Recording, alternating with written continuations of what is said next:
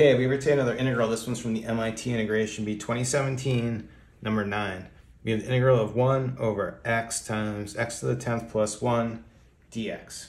Okay, for this one here, I definitely don't want to multiply in this x because working with x to the 11th plus x isn't that great. So instead, I think what I want to do is bring this into the numerator.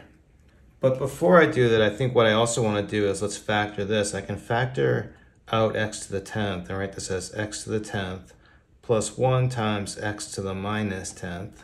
And so when we do this, x times x to the 10th is an x to the 11th. I'll bring those together into the numerator. So we'll have this as x to the minus 11 in the numerator. We'll just have this 1 plus x minus 10. But doing it like this, this is in pretty good shape for a u substitution because we can make the whole thing here our u. So I'll set u equal to 1 plus x minus 10. Take a derivative on it. Derivative of 1, 0 derivative here is going to be minus 10 x minus 11 dx. So in order to make the whole numerator the du value, let's just multiply in minus 10 here, and then I'll multiply by minus 1 over 10 in front, just so I'm not changing it. We're multiplying by 1.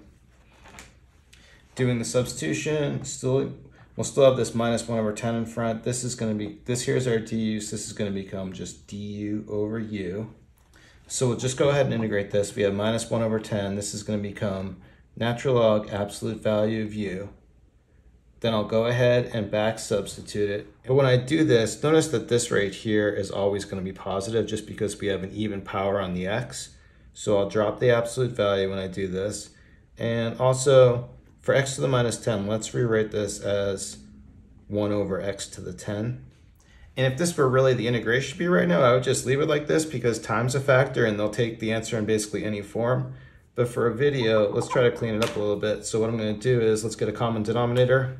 We'll write it as x to the 10 over x to the 10 for that one right there.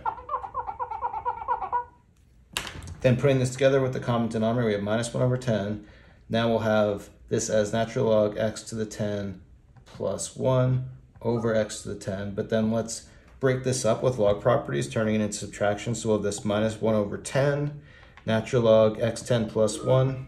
And then for this, we'll have this as minus natural log x to the 10, but minus times minus is going to be plus 1 over 10 natural log x to the 10. But with log properties, we can take this 10 over here in front, but then we have 1 over 10. So that's going to just cancel with this and leave a natural log x. And so let me just make some space for a final solution here. So cleaning this up, we'll do this part first. We'll have just natural log x minus 1 over 10. Here, I'll write the whole thing over 10. So I'll write it as natural log x to the 10 plus 1 over 10. Add a plus c on there, and that's it. Okay, there you go. Good one from MIT 2017. Thanks everyone for watching. Have a good day.